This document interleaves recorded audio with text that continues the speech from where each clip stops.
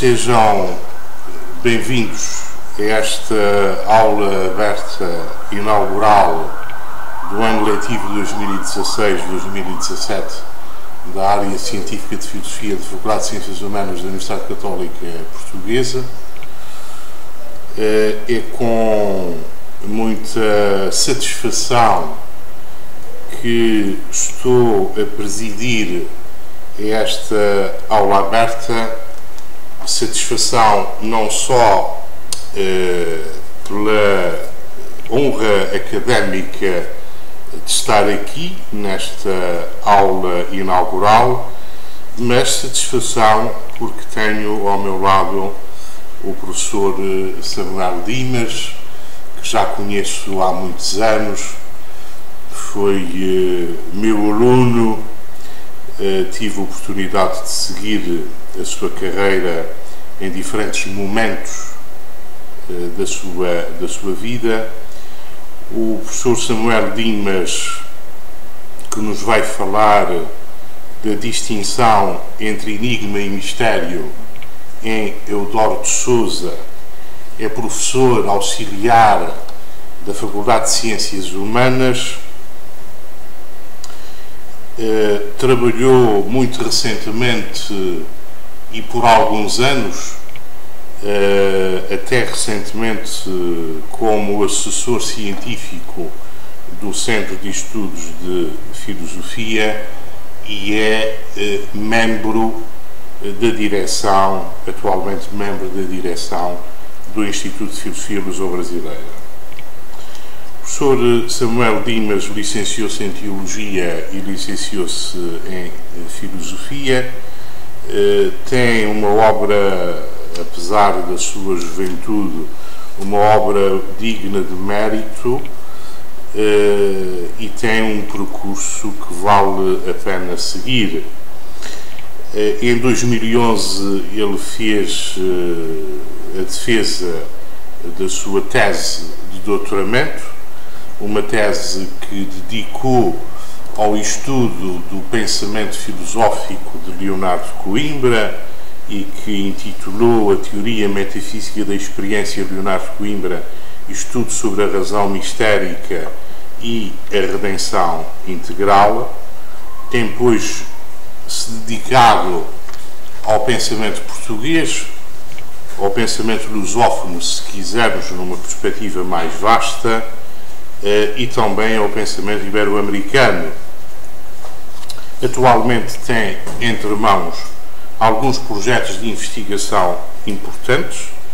Esses projetos estão alojados eh, no Centro de Estudos de Filosofia eh, da Universidade Católica Portuguesa.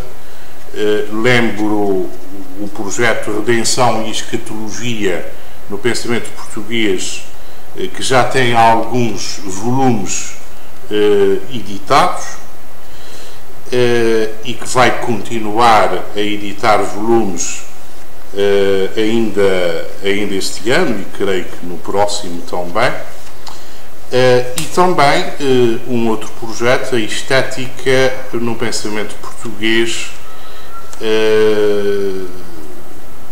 que está a dar os seus passos, está a dar os seus passos iniciais da sua bibliografia, além das notas que já dei, gostaria de registar uh, a existência de Deus, o Homem e a Simbólica do Real, uma obra uh, de 2009 de estudos sobre metafísica contemporânea, e mais uh, recentemente o Progresso do Conhecimento, ensaios de ética e filosofia da cultura eh, que foi uma obra editada em 2015.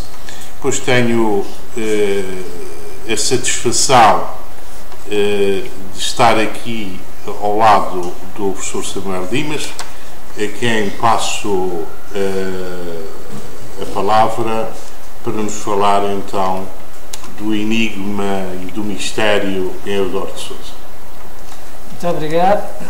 Antes de mais, eh, é, é, quero dizer que é uma honra eh, para mim poder inaugurar o ano letivo, portanto, poder dar esta lição inaugural deste ano letivo 2016-2017.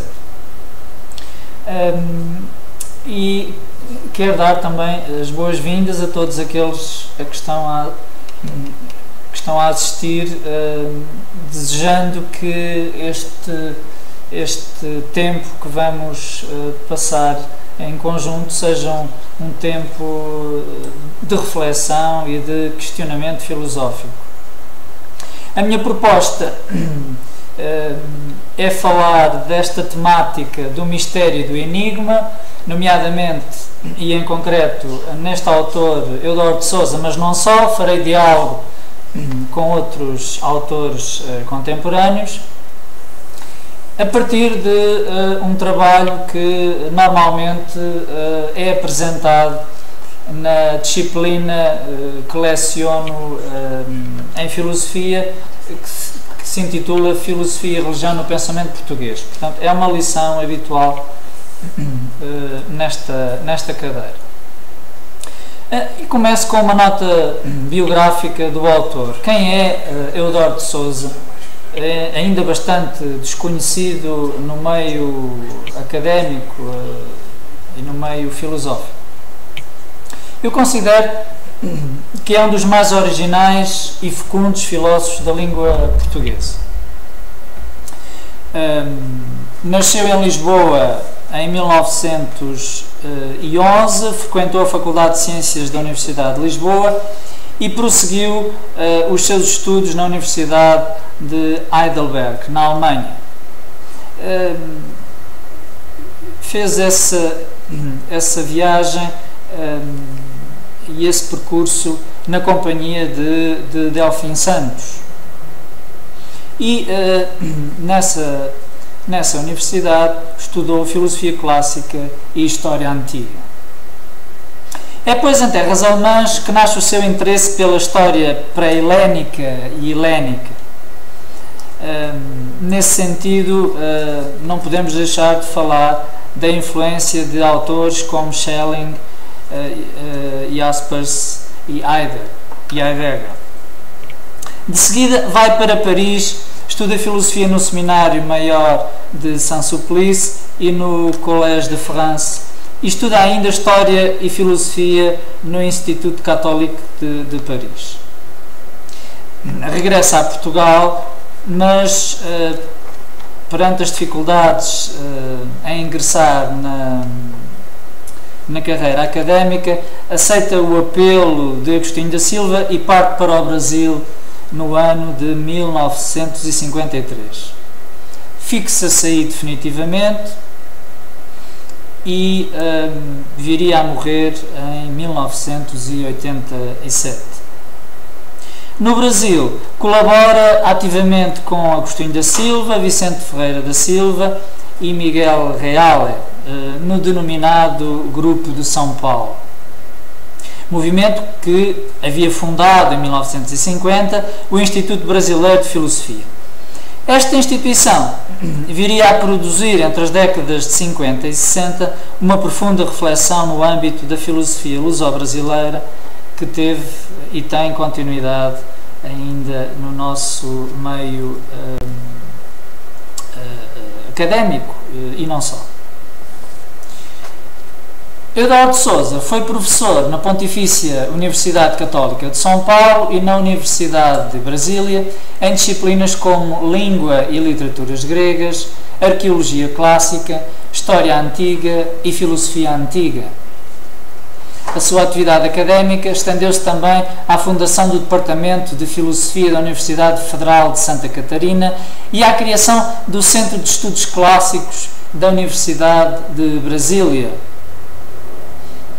ainda hoje há um núcleo de estudos clássicos uh, nesta universidade que tem precisamente o nome de uh, Eudoro de Souza.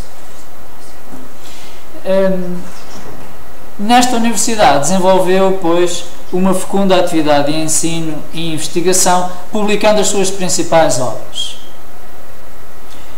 Eudoro ocupa-se fundamentalmente da filosofia e da reflexão sobre o mito concebendo-o como relato da origem como expressão simbólica da complementaridade entre Deus, homem e mundo. Como primeiro ponto, eh, depois desta nota biográfica, como primeiro ponto da nossa reflexão, eh, apresento o seguinte título: A distinção entre enigma, que é decifrável pela inteligência, e o mistério indizível do excesso de Deus.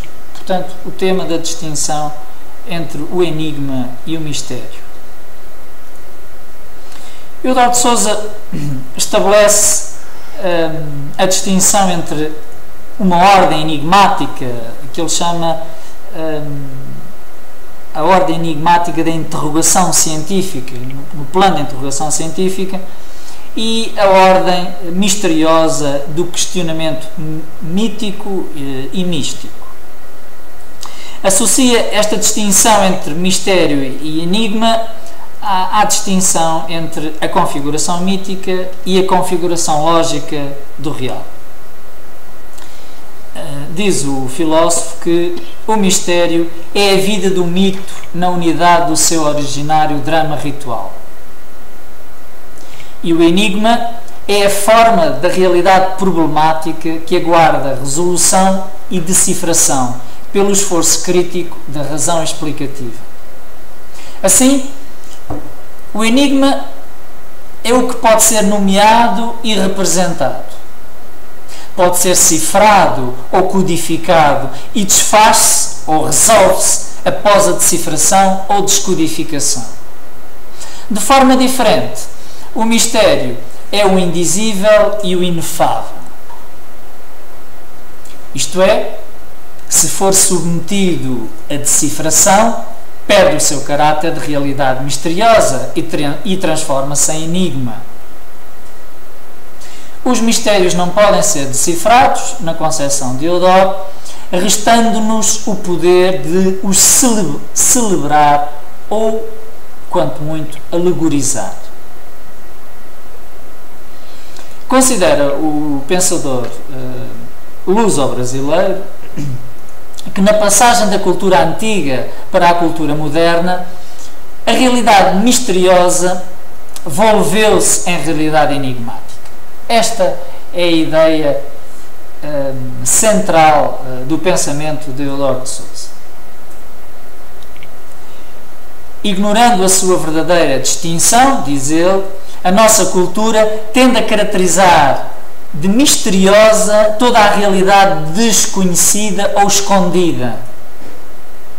E aqui entra a, a confusão, entra o equívoco. A, a, nossa cultura tende a caracterizar misteriosa a realidade desconhecida, a qual deixa de o ser, isto é, deixa de ser mistério quando a razão consegue descobrir e desvendar os seus segredos.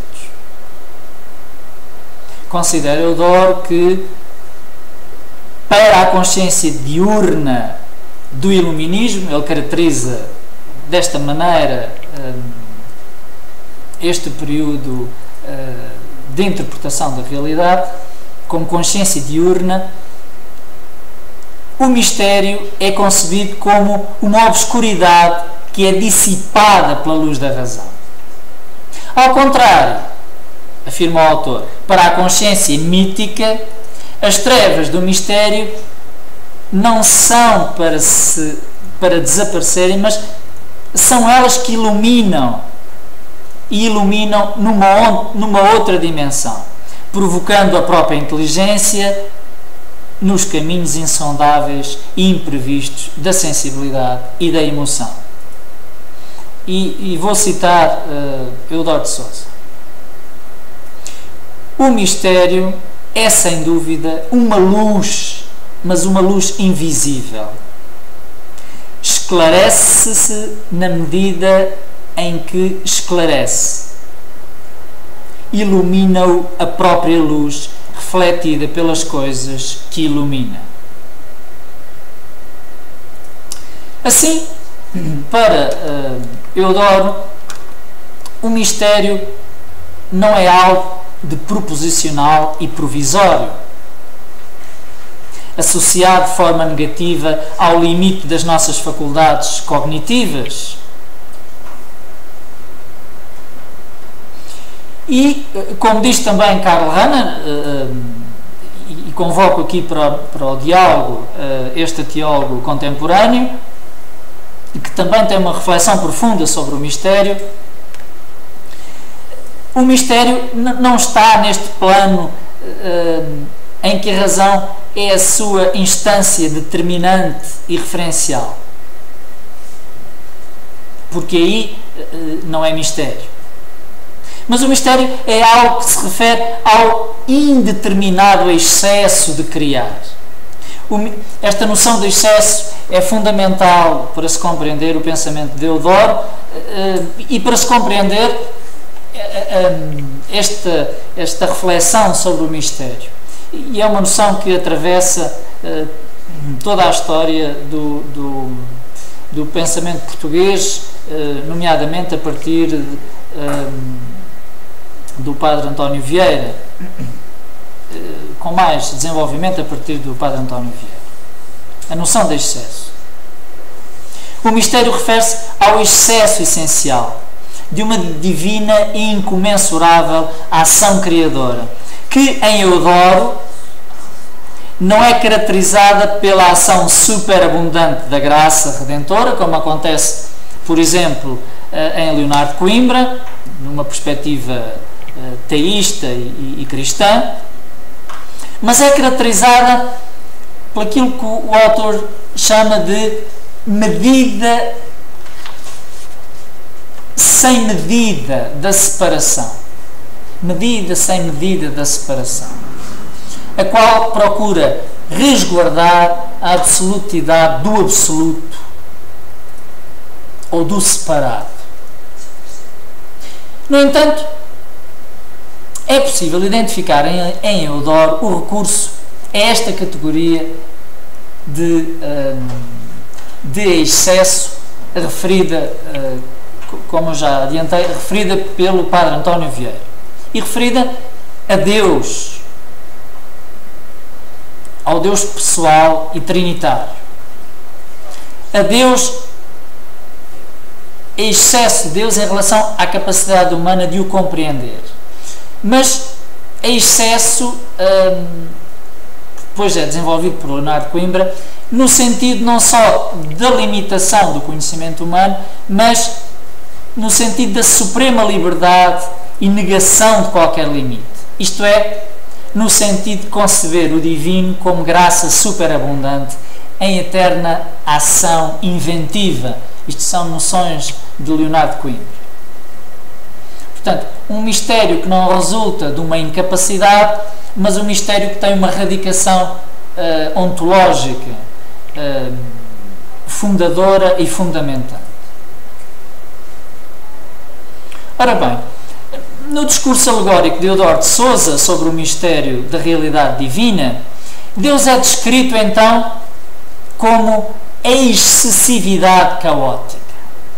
E o mundo é descrito como obra dessa excessividade divina. E hum, refere o, o autor em mitologia, história e mito que Deus excede-se em mundo.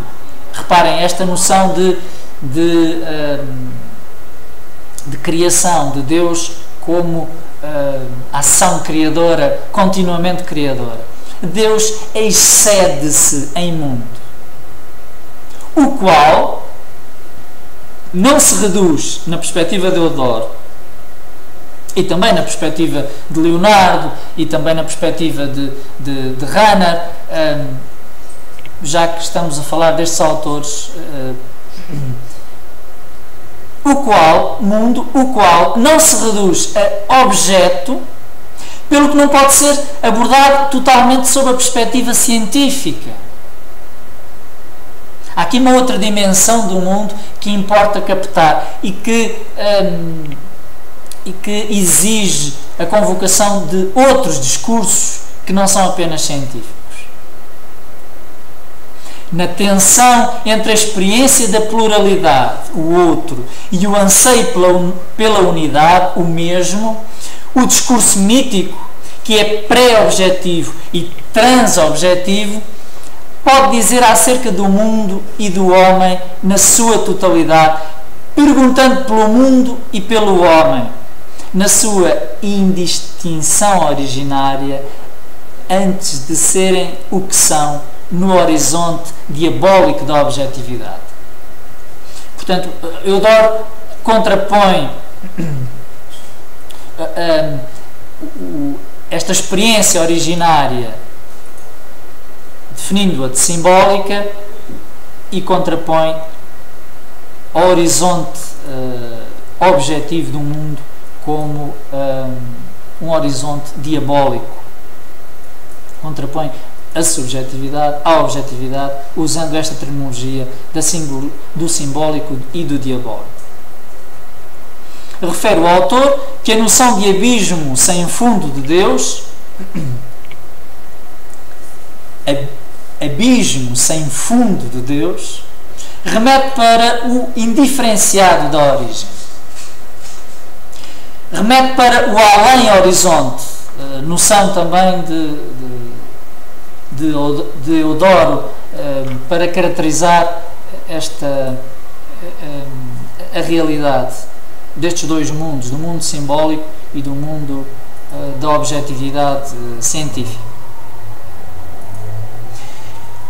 Para o além do horizonte, aquém do qual o mundo aparece como separação entre céu e terra e o homem aparece como separação entre alma e corpo. Portanto, no mundo diabólico há a cisão entre a alma e o corpo, entre uh, o tempo e a eternidade, entre o divino e o humano, entre o céu e a terra.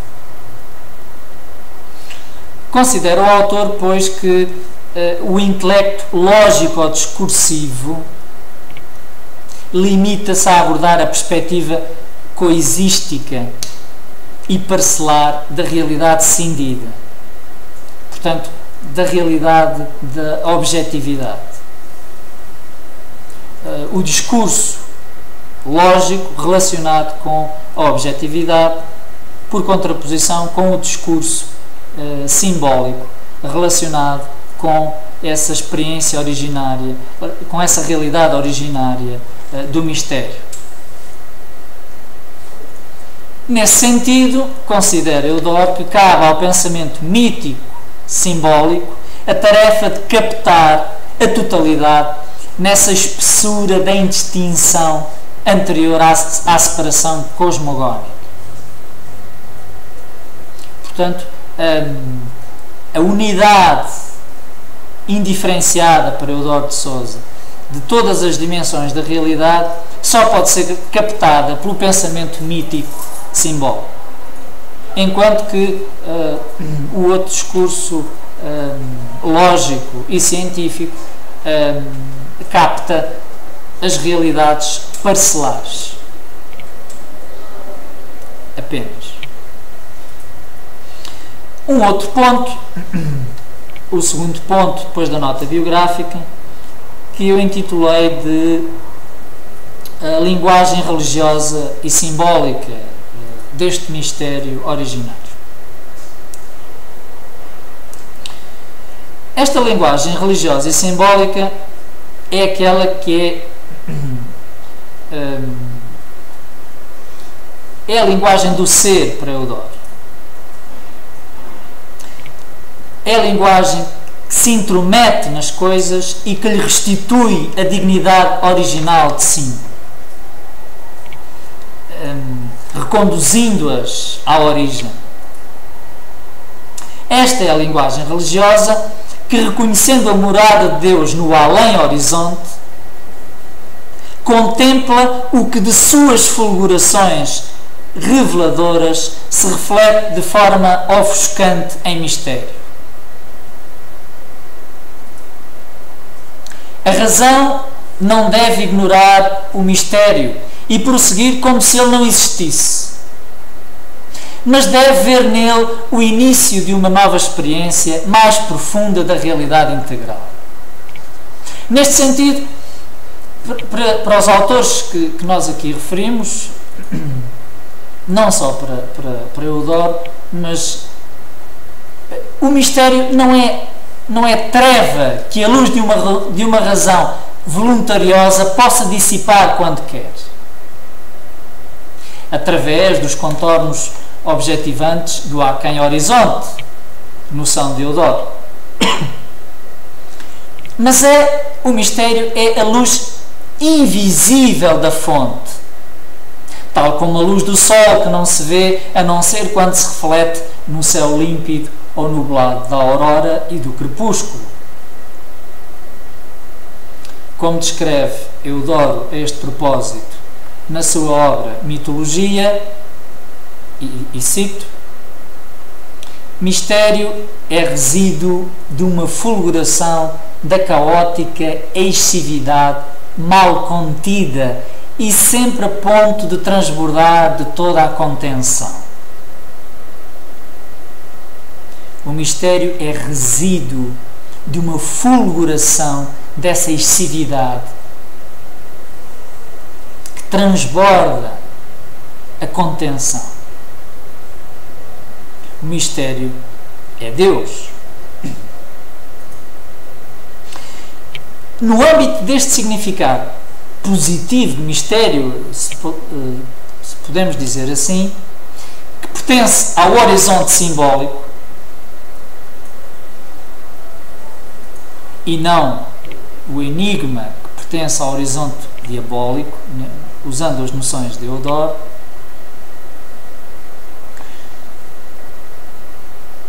o nosso autor refere-se ao ser de Deus como suprema excessividade, já vimos antes, e como absoluto segredo, do qual nós participamos. E participamos como? Na realidade absoluta e excessiva da nossa irredutível subjetividade, que está aquém e além de qualquer processo de objetivação, continuando dessa maneira a habitar na fulguração ofuscante do mundo mítico. Reparem nestas noções que são uh, uh, usadas por Eudoro, fulguração ofuscante, um, ehm, que são um, ehm, uma espécie de, de, de linguagem, uma espécie não, são linguagem do paradoxo. Já vamos ver mais à frente a importância, a importância que isto tem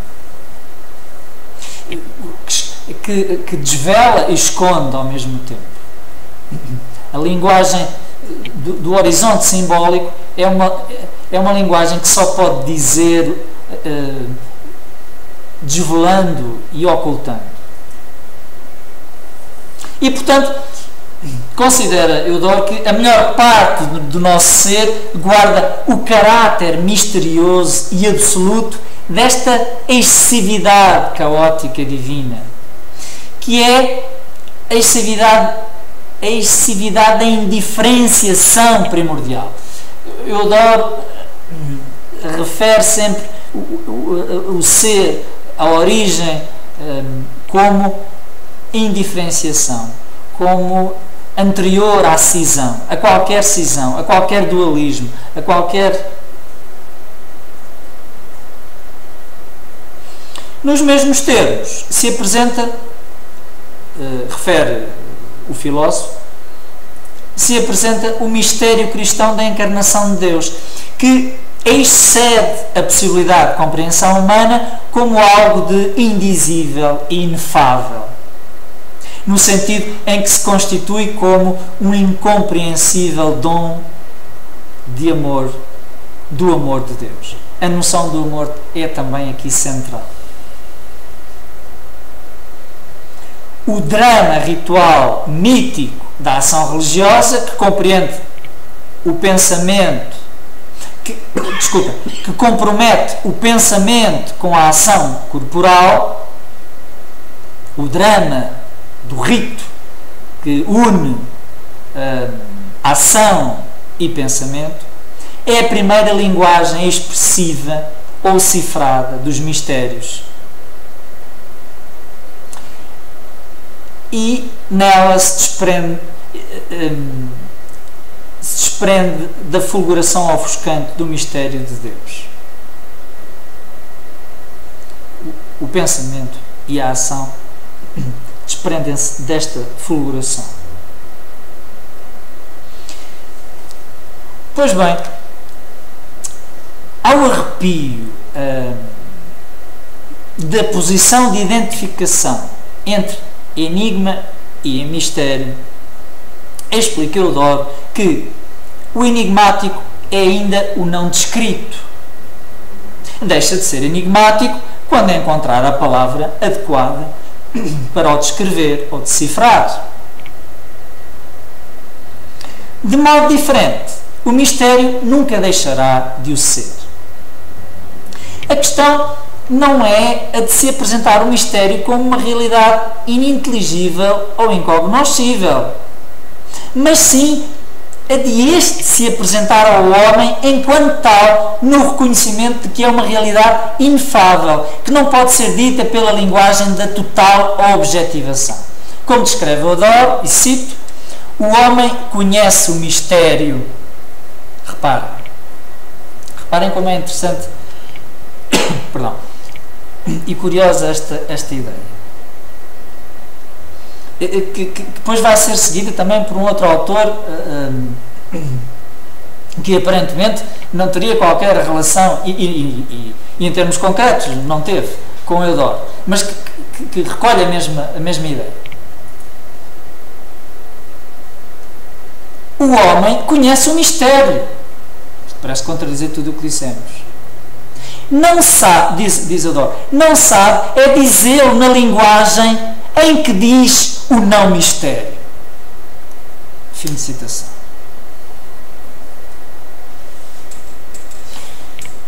Assim, o mistério pertence ao tempo mítico dos símbolos, que não é só humano e é descrito como o tempo da longura outrora, por Eudoro. Outra, outra, outra noção longura outrora. Por contraposição com o enigma, que pertence ao tempo humano e lógico das coisas. Coisas que estão na presença próxima ou distante desse estado que ele chama de, de diabólico. E que divide essas coisas e que divide essas coisas do, do ser um, uh, do ser origem. Diz uh, que das coisas contam-se histórias em qualquer tempo e dos símbolos dançam-se mitos nas pausas do tempo que corre através das coisas. Das coisas contam-se histórias em qualquer tempo e dos símbolos dançam-se mitos nas pausas do tempo que corre através das coisas.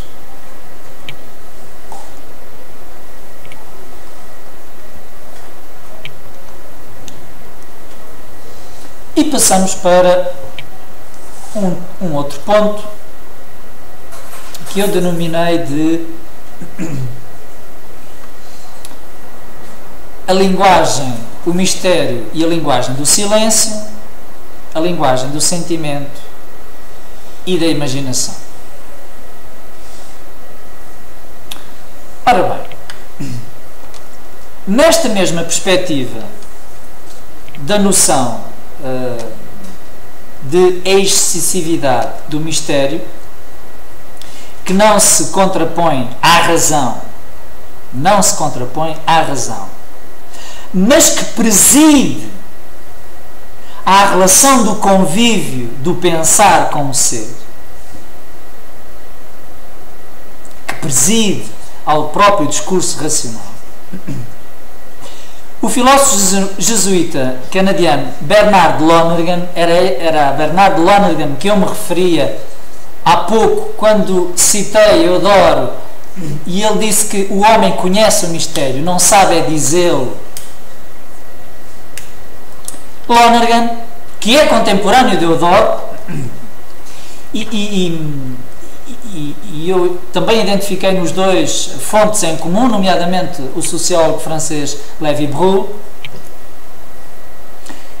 Lonergan descreve que na afirmação da realidade do mistério está subjacente a categoria paradoxal do conhecimento do desconhecido. Cá está a afinidade, o conhecimento do desconhecido, o conhecimento do mistério. Mas então, se é inefável e indizível, como é que é conhecimento do desconhecido? Como é que é conhecimento do mistério? Ora bem, este conhecimento não é no sentido negativo da limitação da atividade cognitiva, mas no sentido de conceber, positivo de conceber que na atividade da relação do pensamento com o ser, no desejo irrestrito de conhecer, como, como uh, refere Lonergan, as questões ultrapassam as respostas.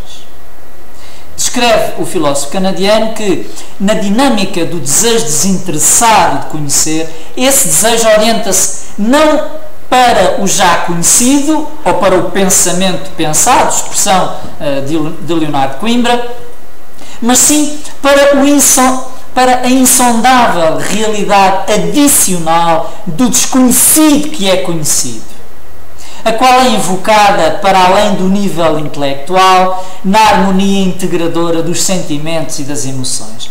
Portanto, estes autores eh, eh, partilham esta, esta noção do excesso como uh, uma, um, uma, um, uma viagem que um, contempla outras dimensões uh, no horizonte simbólico no horizonte da afetividade. A dimensão afetiva, que é precedida por apresentações sensíveis e representações imaginárias, integra-se no fluxo psíquico e traduz-se em movimentos corporais e cerimónias rituais. Como descreve Eudoro, o mito, enquanto expressão do mistério dessa caótica excessividade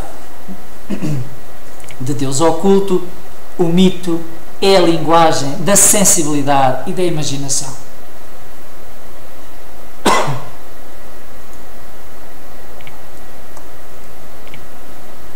O mito é a linguagem da sensibilidade e da imaginação. Ou seja, eh, como eu disse no título, é a linguagem do silêncio da natureza em que o espírito se oculta. Oculta-se, não desaparecendo, mas permanecendo invisível. Ora mas há aqui uma diferença que importa esclarecer ou evidenciar. Ao contrário da perspectiva mítica de Eudoro, a perspectiva intelectualista de Lonergan faz a denúncia dos aspectos infantis e demoníacos da consciência mítica e dos cultos mistéricos, advertindo para a necessidade de distinguir a ingenuidade e contradição da experiência religiosa pela imagem simbólica do desconhecido e da experiência religiosa pela pela uh, representação analógica do inteligível. É preciso superar a configuração mítica do real recorrendo ao símbolo, muito bem, e recorrendo à analogia. Para este autor, Lonergan, como também para Leonardo Coimbra, que convocamos para este diálogo, a consciência mítica é superada pelo processo reflexivo da consciência científica e metafísica, que sabe distinguir as operações da experiência, da emoção, da imaginação, da compreensão e do juízo. Eh, Lonergan chama a atenção para isto na sua obra Insight, eh, a sua grande obra de epistemologia, e de filosofia do conhecimento. Assim, o mito e a metafísica, em Lonergan, aparecem como realidades opostas. Para ele, a consciência mítica é a ausência de conhecimento. E a metafísica é o corolário do processo de autoconhecimento. De modo distinto, para Eudoro, esta posição defendida por Lonergan é filha da queda dessa altura da originalidade do ser na humilhação infernal ou diabólica da objetividade. Portanto, há aqui uma, uma visão antagónica entre estes autores a respeito uh, da configuração mítica do real. Para Eudoro, esta, esta passagem do mitos ao logos é a passagem para a objetividade e significa a perda da, da, da, da noção da realidade originária. E reflete esta passagem reflete a parcialidade, perde-se a unidade e um, fica-se apenas com a noção da parcialidade daquilo que ele chama o regime diurno da consciência. A realidade integral exige o regime noturno da consciência. Neste regime diurno, as ideias reinam em absoluta soberania, ignorando que o espírito não se reduz à pura inteligibilidade, mas tem as suas raízes na realidade natural de que fez eco o regime noturno da consciência. Portanto, aqui há aqui uma espécie de, eh, eh, de necessidade de regresso à natureza no seu sentido sagrado.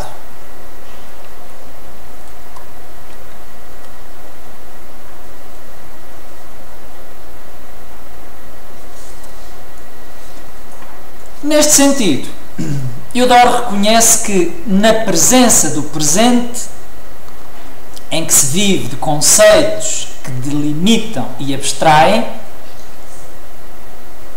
chama a este horizonte, eh, não o simbólico, mas este horizonte diabólico, presença do presente, é possível descrever o mítico e apontar para a transcendência do sensível, e descrever a metafísica e apontar para a transcendência do inteligível, preterindo as religiões de mistérios que são consideradas como intrusos e indesejáveis. Ao contrário da perspectiva conceptual do dinamismo enigmático do mundo das coisas, que vive da suposição de que o, inexaurível se deixa exaurir, pelo que o intelecto só pode falar do exaurível, que se supunha exausto, a perspectiva mítica descreve o mistério como aquilo que é inesgotável.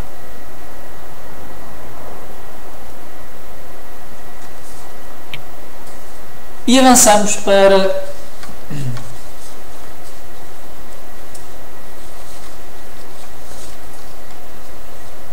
quanto tempo é que eu ainda tenho? 15 minutos. Muito bem. Uh, ainda antes de, de, de concluir, importa referir aqui ainda alguns aspectos deste diálogo que estabelecemos entre estas duas visões, a representada por Eudoro e a representada por Lonergan, uh, e de alguma maneira também por Leonardo Coimbra, mas de, de uma outra maneira. Lonergan é, é, aliás, uma das críticas que se faz ao pensamento de Lonergan é ser intelectualista, hum, mas neste contexto estão em, em alguma consonância. Portanto, para Lonergan,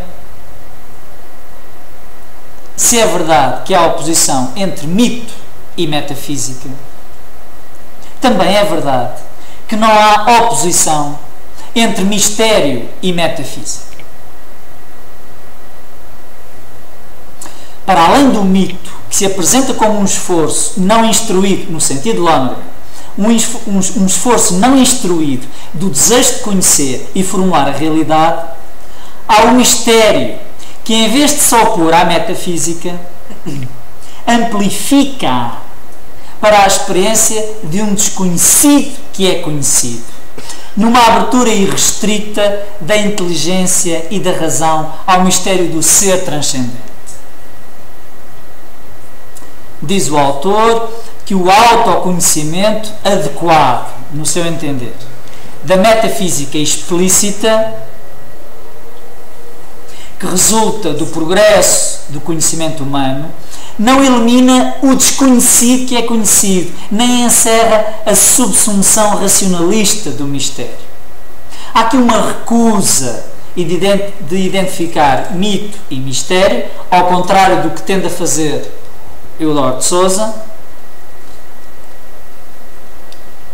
que concebe uh, a linguagem do mistério como a linguagem poética da celebração ritual do mito na unidade originária da sua forma dramática.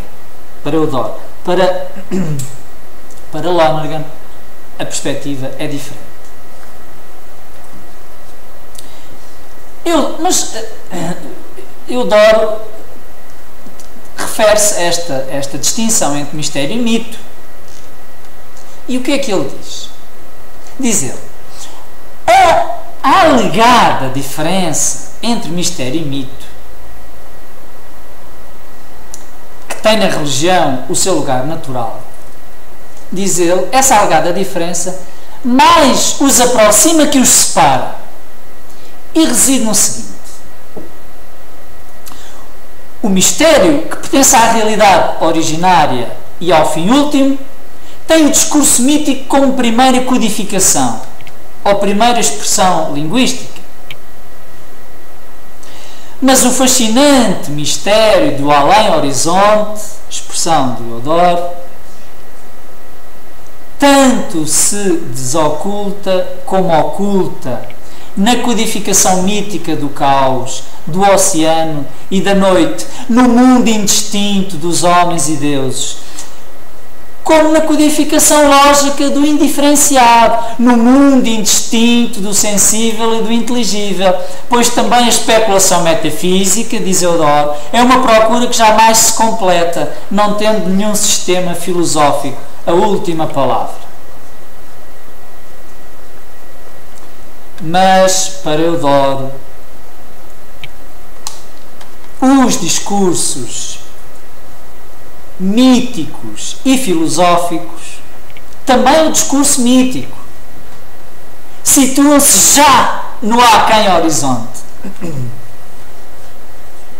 tendendo à desvalorização do mundo sensível em relação ao mundo inteligível, a conhecida dicotomia platónica.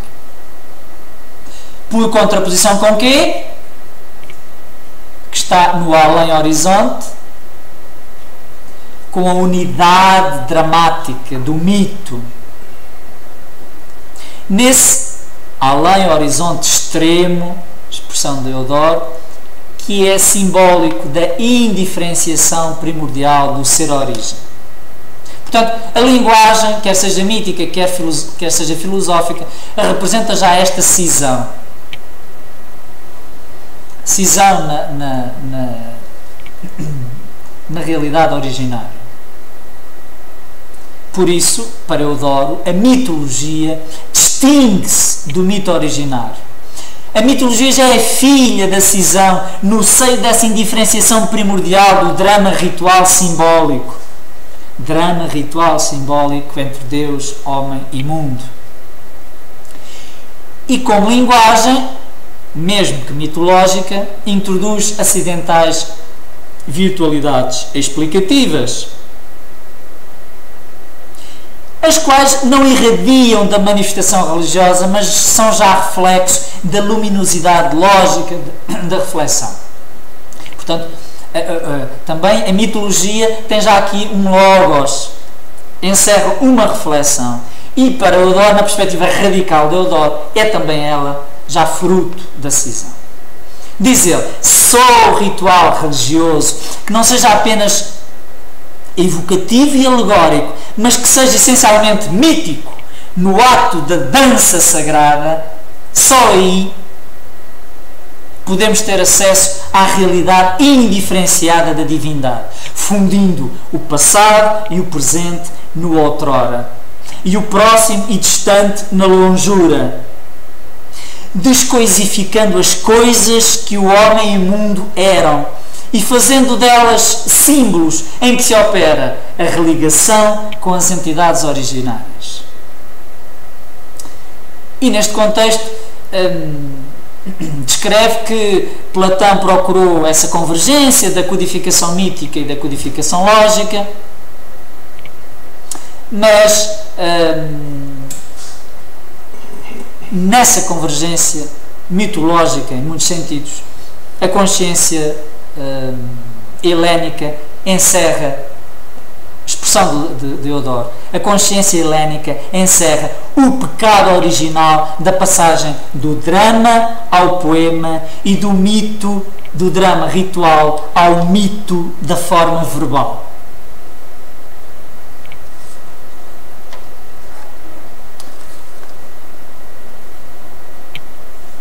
A linguagem religiosa é a linguagem das origens que irrompe do plano inconsciente e subhistórico, em que poesia e filosofia se confundem e no qual se dá a coincidência entre mitos e logos.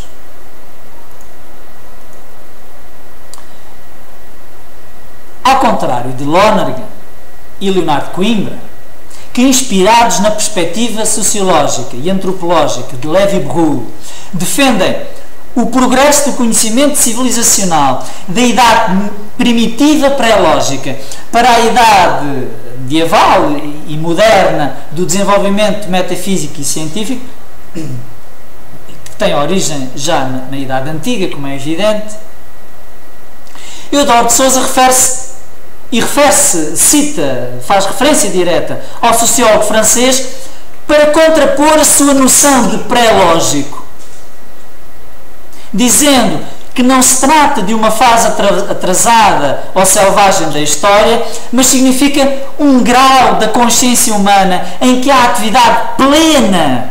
Nesse pré-lógico desvalorizado por Levi Brul, Eudor considera que há atividade plena da unidade dramática entre mito e rito. E ainda não se cindiu o conhecimento e a ação. Para Eudoro, o pré-lógico da mentalidade primitiva não significa uh, ilógico, mas sim uma lógica que articula a realidade apreensível através de categorias diferentes daquela que o homem civilizado, entre aspas, uh, irá usar. Um,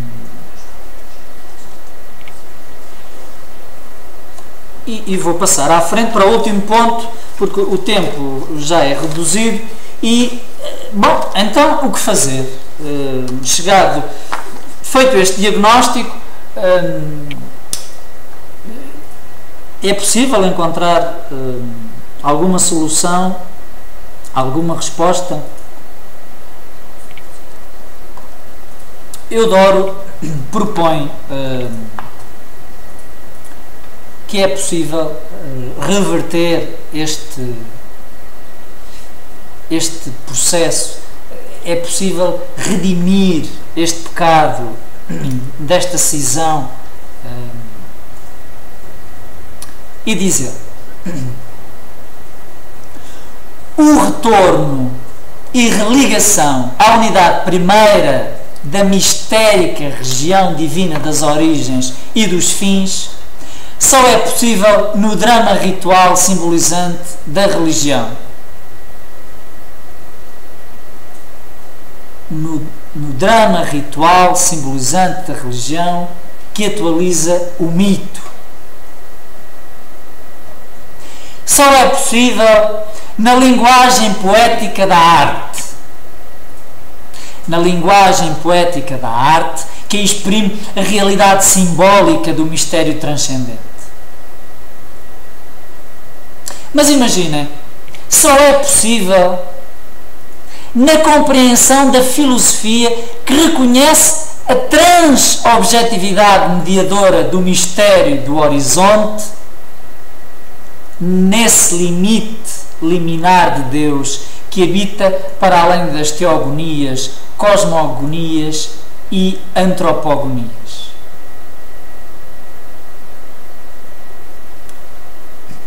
Neste sentido, explica Eudoro que se o belo é a primeira categoria estética, o mistério é a segunda e o símbolo a terceira.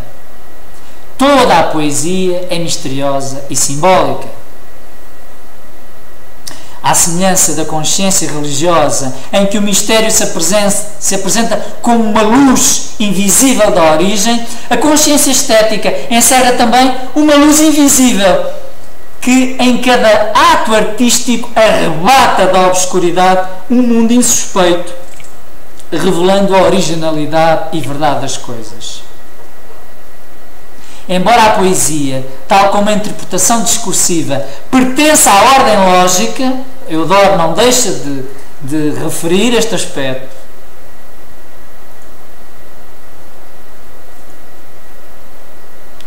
e pertence à ordem lógica porque se exprime pelo verbo, ela, a poesia, traz implícita a ordem pré-lógica da região da consciência humana do mundo simbólico, que é limítrofe do dizível e do indizível e sensível do ser e da significação.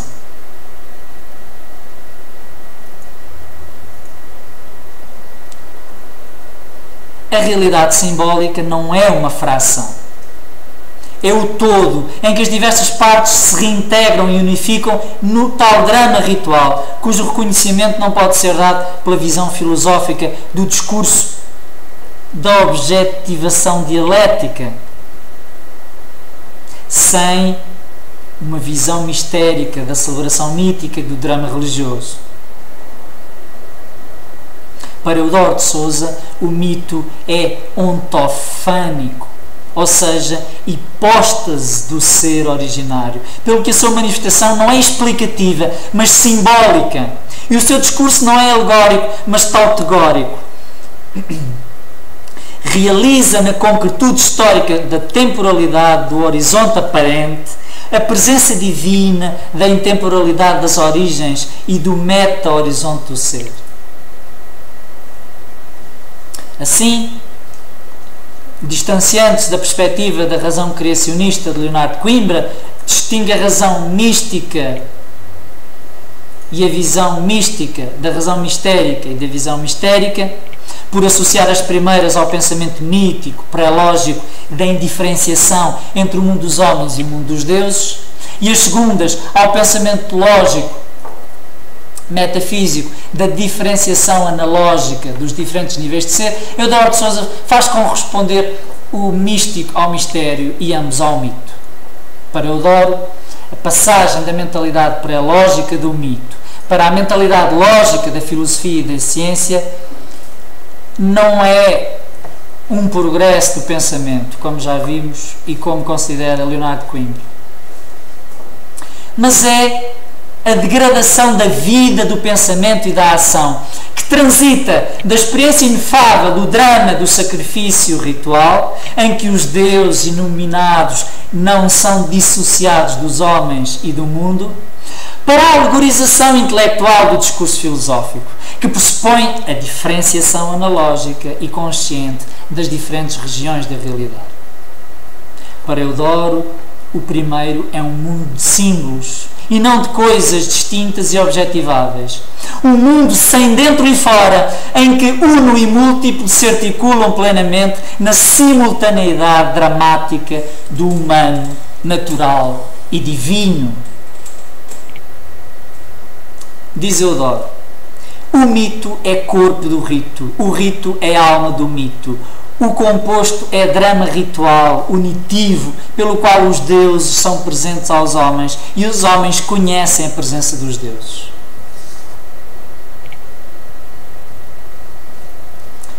E para concluir,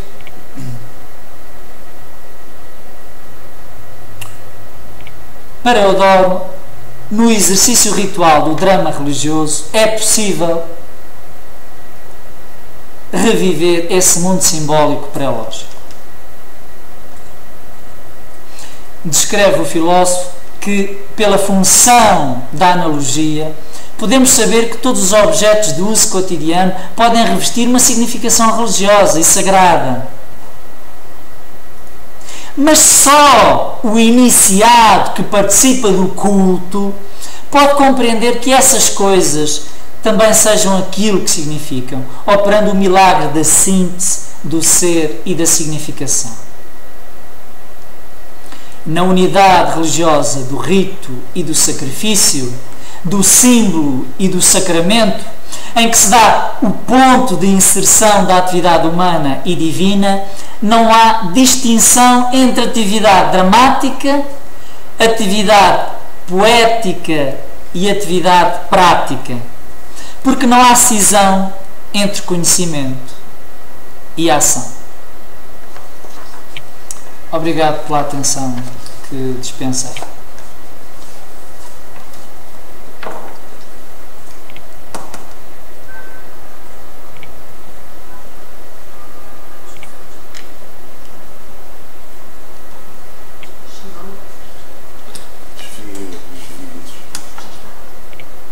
Já Bem, hum,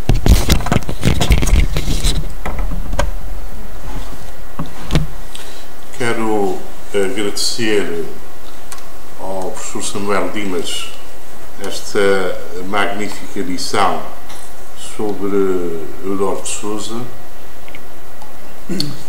Agradecer-lhe ter-nos trazido esta leitura sapiente de Eudoro de Souza, mormente sobre as noções de enigma e de mistério. Abre-se aqui um segundo momento em que eh, quem está eh, online e assistiu a esta lição, eh, abre-se este momento em que pode formular questões, bastando que possa digitar essas, essas mesmas questões. Enquanto isso não acontece, eu uh, atrevo-me a fazer uh, um pedido e a formular uma questão.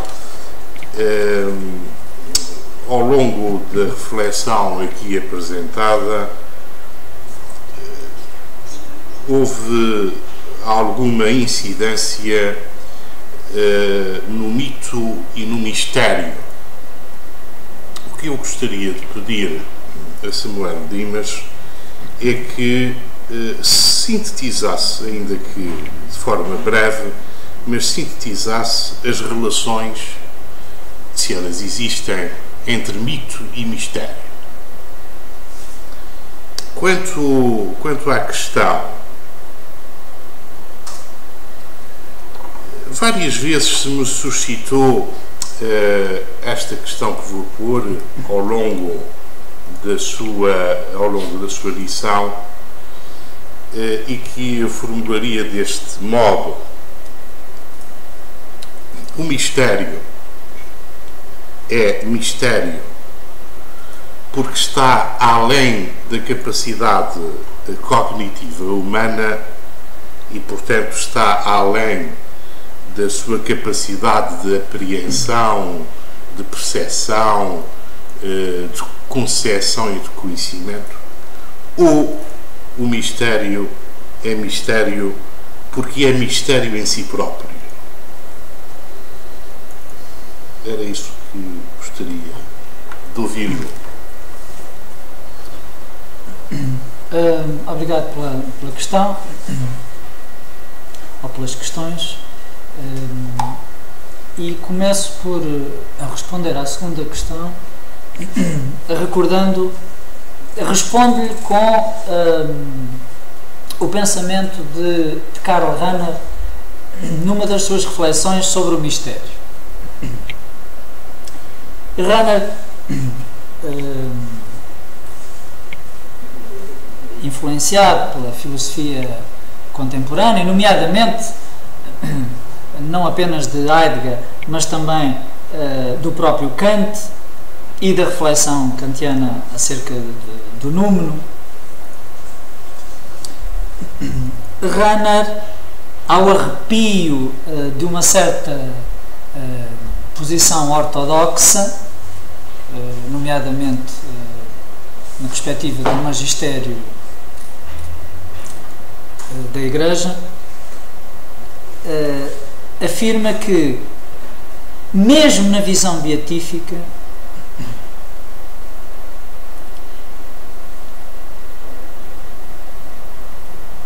não é possível uh, a visão de Deus, a compreensão de Deus de forma integral. E portanto, o mistério é mistério. Há aqui uma ontologia do mistério. Deus é mistério porque é excesso. Não é possível objetivar. Não é possível. Uh, nós nunca seremos Deus. Uh, eu diria que, que esta reflexão fundamenta-se na preservação da alteridade, da relação. É? Uh, enquanto relação, mesmo com o divino, mesmo nessa visão beatífica uh, paradisíaca, o outro tem sempre algo de único e incomunicável. O outro divino é o, o, sumo inefável, o sumo. Uh, é o indizível por, por uh, na sua máxima expressão. E, e faz-me recordar a noção de Leonardo Coimbra quando fala da, ação criadora divina como essa ação de permanente invenção, permanente novidade. E portanto, é neste sentido que eh, eh, é neste sentido que a questão se coloca quando se distingue mistério de enigma. O enigma é aquilo que a razão consegue decifrar ou pode decifrar eh, a determinada altura, ao limite na visão beatífica. O mistério é aquilo que permanece e que não, não, uh, não se desfaz porque não é decifrável uh, em absoluto. Eu recordo que é nesta perspectiva que Leonardo Coimbra critica um, eh, o pensamento místico de autores como, um, como Bergson, não é? Uh, e, e, todos os autores que defendem, ou como Spinoza, uh, os autores que defendem a, possi a, possibilidade de se ter a visão ou o conhecimento imediato do divino, ou a, a, a contemplação uh, do divino. Leonardo posiciona-se numa perspectiva de que mesmo a experiência mítica ela não pode deixar de ser analógica não pode deixar de ser um conhecimento analógico. Em relação à primeira pergunta, eu considero que, hum, em termos religiosos, há uh, diversas relações entre mito e mistério. Uh, aliás, isso para nós que conhecemos melhor as religiões do livro, todas elas incorporam mitos que eram comuns na cultura da época, mitos orientais, mitos também. É começar pelo mito da criação, do Gênesis. Mas também é verdade que uh, o percurso que é feito na reflexão da tradição judaico-cristã vai fazendo uma certa depuração e, e, e logo no, no, o texto sagrado faz isso uma certa depuração da configuração mítica do real que encerra esta tal indiferenciação, indistinção entre o transcendente e o imanente, que redunda depois em todos os panteísmos em todas as visões monistas, não é? A configuração, a configuração mítica da realidade tem, tem, essa, tem essa vertente. E há aqui uma depuração que é realçada por, por uh, Lonergan e também por Leonardo, a qual, distanciando-se do mito, exalta ou acentua a noção de mistério, que não é mais que preservar a noção da transcendência e a noção deste inefável. E portanto, não estamos a falar dos mistérios de, de Eleusis, nem dos, dos, dos das iniciações as experiências eh, religiosas que, na visão gnóstica, permitiriam a alguns eleitos conhecer o divino e conhecer os mistérios, gnose, mas estamos numa outra vertente que não é monista de indiferenciação e de possibilidade de, de, de, de visão imediata, mas é de reconhecimento do excesso um, da transcendência e da, e da, da, dessa ausência. É presença, mas é uma presença ausente uh, do mistério divino. Não sei se respondi. Bem, muito obrigado ao Samuel há questões. Eh, bom, entretanto, enquanto não surgem, podemos ainda trocar alguns, alguma prosa falada e conversada. Eh, eu penso que o Samuel, eh, nesta exposição que fiz agora, como resposta à minha, à minha pergunta sobre o problema cognitivo que envolve o mistério, respondeu falando do mistério, mas numa acessão eh, que o aproxima, ou melhor dizendo, o identifica com Deus, com, com, o ser divino. Mas o mistério não é só o ser divino, do meu ponto de vista. É, há o mistério da graça, há o mistério do amor, é o mistério da alegria, eh, há o mistério da criança que se apresenta, uh, ao, sei lá, ao, ao, ao, mistério de não haver fadas, e há também, e há também este mistério, uh, este mistério extraordinário, uh, que é o mistério da, da própria ciência que nunca chega a decifrar absolutamente o real. Esse é um mistério que não é necessariamente o um mistério ontológico divino.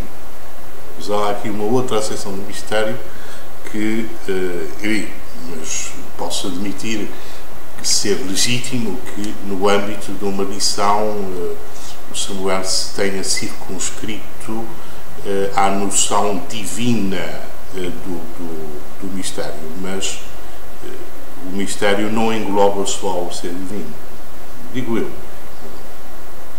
Não, eu estou de acordo. Mas, na verdade, na, na, proposta que, que, hoje apresentei, a questão centra-se no mistério identificado com, com Deus.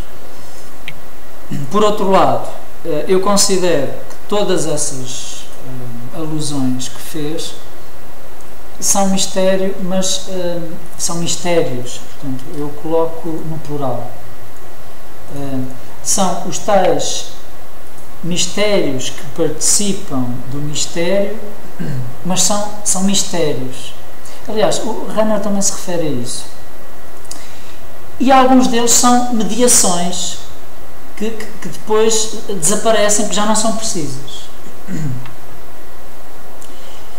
Aqui estamos a falar do que está a montante, eh, na, pelo menos na proposta que eu apresentei, estamos a falar do mistério fundante, do, uma ontologia do mistério, se quiser. Muito bem. Bem, uh, cabe-me de novo agradecer ao professor Samuel Dimas. Chegamos ao fim uh, deste, deste tempo, que foi um tempo notável. Muito obrigado e a todos uma boa noite. Obrigado.